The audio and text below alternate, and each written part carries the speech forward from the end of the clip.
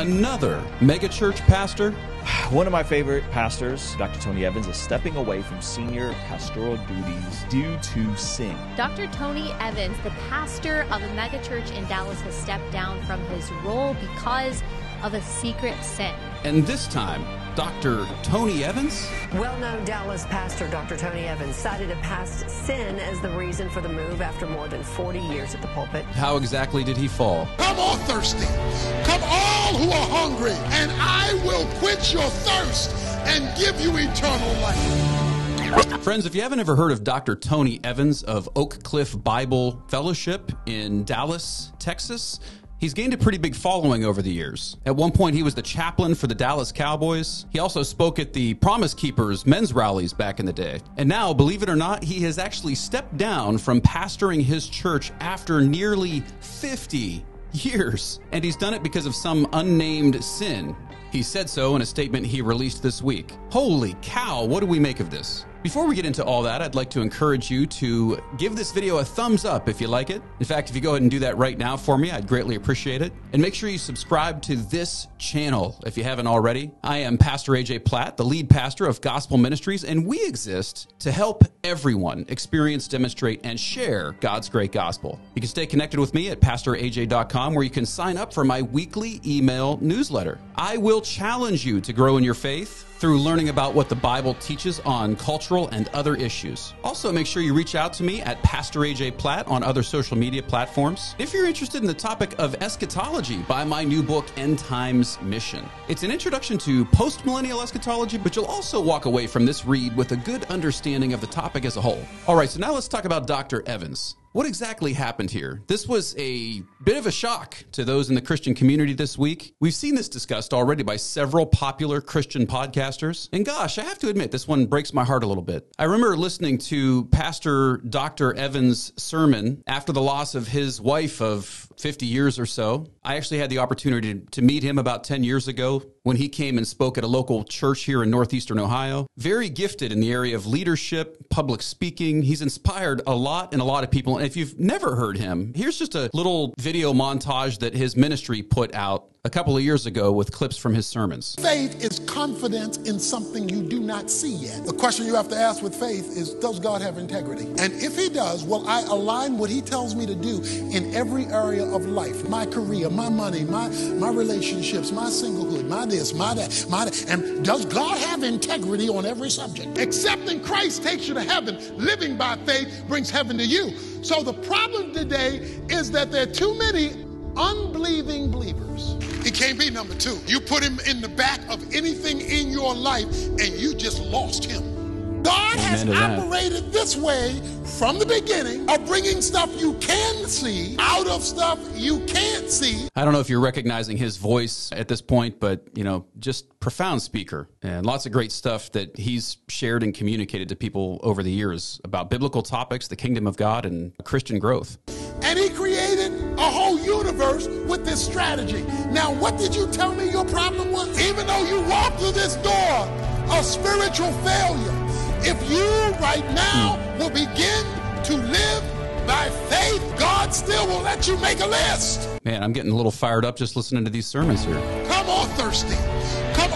Who are hungry, and I will quench your thirst and give you eternal life. Only through receiving Jesus Christ as your personal Savior will your passport be stamped and entrance be granted. Wow, amen. Do you feel inspired? You know, obviously, a lot of people in the Dallas Fort Worth area did because he grew his church from like 25 members 50 years ago to 10,000. In fact, a few years ago, he was actually working with former President George W. Bush on some kind of initiative in the Dallas area. So, definitely made his rounds as a preacher, certainly had an impact for the kingdom. So, what exactly took place here? Let's take a look at the local news piece on the story. Well known Dallas pastor Dr. Tony Evans stepped aside from leading the 10,000 member Oak Cliff Bible Fellowship. Evans cited a past sin as the reason for the move after more than 40 years at the pulpit. This is what's getting everybody's attention the word sin. As you'll see in a second, though, he doesn't name what that specific sin is, so it's leaving a lot of people talking. For Stephen Dial, live with what Evans told the congregation. Stephen. Yeah, the news was a big shock to the faith-based community nationwide. And I would Evans, imagine. Who recently got married said that he committed no sin. I mean, no crime, but committed a sin. Sunday, renowned Dallas pastor Dr. Tony Evans told his congregation he would be stepping away from his senior pastoral duties. Evans spoke to the congregation, but it was not part of the recording posted to the church website, which featured lead associate pastor Bobby Gibson. Good morning, Oak Cliff. Come on, clap, clap, clap, clap. Evans grew the congregation of Oak Cliff Bible Fellowship to 10,000 members, serving as pastor for more than 40 years. Evans said the foundation of his ministry is the commitment to the Word of God as the supreme standard. You know, that is a long time to be pastoring a church. I don't know if that hit anyone else upside the head, but I, I think he's in his 48th year as the pastor of that church. That is a long time to be doing ministry without scandal, at least seemingly. I mean, what an incredible track record. And it almost makes you wonder like, what could he possibly have done to necessitate his stepping down after that many years of service. I mean, this would have to be a pretty big deal. A lot of people are speculating just because of the wording and the nature of it. It seems like it would have to be some kind of a sexual sin. Did he have an affair of some kind? Now, he did recently remarry, like just about six months ago after the death of his wife. So let's see what he had to say about it. In a statement, he went on to say, A number of years ago, I fell short of that standard. I am therefore required to apply the same biblical standard of repentance and restoration to myself that I have applied to others. This is what people are picking apart, where he said a number of years ago. Like, what on earth does that mean? Maybe this was something that he brought to the attention of the elders. A number of years ago seems to maybe be something that took place long before the death of his first wife. My initial thoughts were did he have a premarital relationship with his current wife? Maybe that's what this was referring to, but this is throwing me off a little bit here. A number of years ago. And why is this all coming out now? There's been much as to what specifically caused Evans to step aside and for how long. He did not address that directly, but said, While I have committed no crime, I did not use righteous judgment in my actions.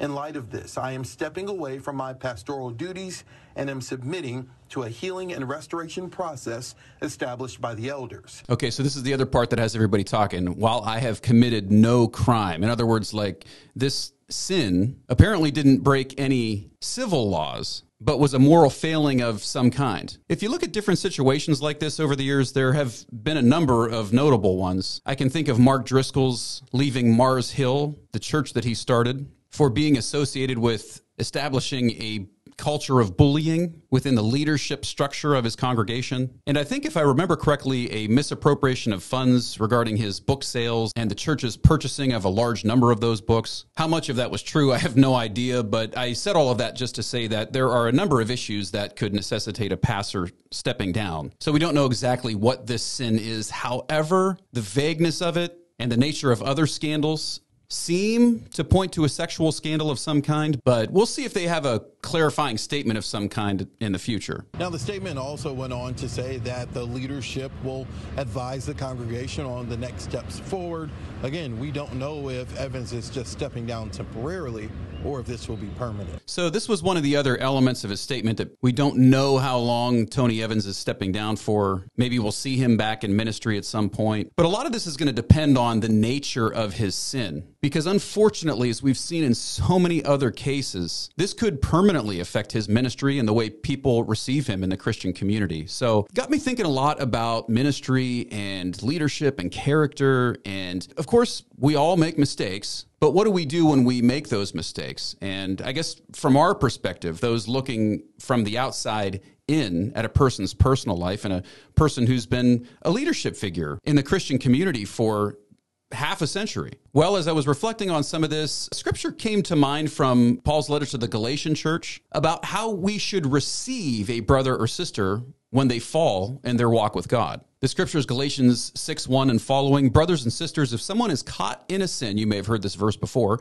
you who live by the Spirit should restore that person gently, but watch yourselves, or you also may be tempted. Carry each other's burdens, and in this way you will fulfill the law of Christ. If anyone thinks they are something when they are not, they deceive themselves. Each one should test their own actions. Then they can take pride in themselves alone without comparing themselves to someone else.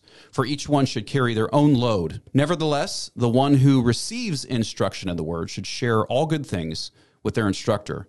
So in Paul's letter to the Galatians, Paul is dealing with a group of people who are taking the Jewish law too radically, not realizing that in Christ there is a new covenant now, before you get too excited, all of those moral laws from the Old Covenant and the Torah are still in effect. But Christ has just fulfilled and changed some of those ceremonial ones, like circumcision or the animal sacrifices. So, this explains Paul's juxtaposing the Spirit with the law. You see it in several of his letters, but take note of it here in this passage. Those who live by the Spirit in other words, those who have faith in Christ and through that faith have been filled with the Holy Spirit. What was the nature of the fall Paul was talking about in this passage here? Well, he talks just prior to this about the deeds of the flesh and all the things that people can get carried away by. But a huge theme of his passage is people, particularly Jews in that time, backsliding to the old covenant and not trusting in their relationship with Christ. That's why in verse 2 here he talks about fulfilling the law of Christ. You see, Paul is very concerned with pulling people out of their old covenant Judaism and into the new covenant of Christ. And so it's within that context that we can see people can fall from their relationship with Christ by getting immersed in sexual and other sin. So it's not just the big sins that Paul has in mind here, but also some of the subtle sins that church people, for lack of better terminology, can sometimes be guilty of. The point is that when we sin, we are walking away from our relationship with Christ. So, what are some of our takeaways from this scripture as it applies to this situation with Dr. Evans, and maybe how we can learn from it ourselves if we're in leadership or just Christians trying to get by in this life? Well, first of all, I think it's important that we as Christians realize the importance of repentance in the Christian lifestyle. People in the Christian community and even leaders will sin. Repentance is necessary to be restored to a right relationship with Jesus. But at the same time, those sins often impact us, as may end up being the case here with Dr. Evans. What's going to happen when we find out, God forbid, or if we find out, that he had some kind of extramarital affair that was swept under the rug 10 years ago or 30 years ago? How do we respond? Well, Galatians tells us. We ought to do so in a way in which we are utilizing humility and not sweeping the sins under the rug, lest we fall victim to the same stuff. I think this part of Galatians 6 is a great application for this culture where we see sexual and other sins of all kinds minimized based on a misguided and idolatrous understanding of God's love. This is one of the big problems with the LGBT community today. They will smash their misguided understanding of the Christian life in our face and scream at us, telling us that we need to love them Yet true love looks like accountability. I think that's what Paul means when he says to watch yourselves, or you may also be tempted. In other words, we don't want to minimize sin. Sin is a big deal. It's a big deal, especially as a leader. And so we ought to seek to restore people. We ought to seek to extend grace. But we can't do it in a way that minimizes the sin. Sin is a big deal, and all sin is an affront to God and his nature. So as more details come out and we see what really happened and you know maybe we're incredibly disappointed by yet another Christian leader who has fallen, let's follow Paul's instruction to reach out with grace and see a brother in Christ restored, but not do it in a way that minimizes. And let's make sure to carry our own burdens. In other words, to look inside ourselves and make sure that we are legitimately following Christ and giving honor to his holiness in our lives. And so, in that regard, are you, by God's grace, fortunate that you haven't had some secret sin come into the public purview? I would say to deal with it confess it to a brother or sister in Christ, and do it now before you see yourself in a situation like this one. With that, friends, let's be praying for Dr. Tony Evans and the Christian church as a whole, because I don't think we ever want to be happy to see somebody fall or make other people's lives the topic of our conversation. Certainly, we should be first and foremost concerned with our own walk with God carry your own burden. And in that way, God will make you the kind of strong Christian that will walk with Him in integrity for a long, long time. With that, don't forget to like, share, and subscribe. And friends, I will see you in the next video. God bless.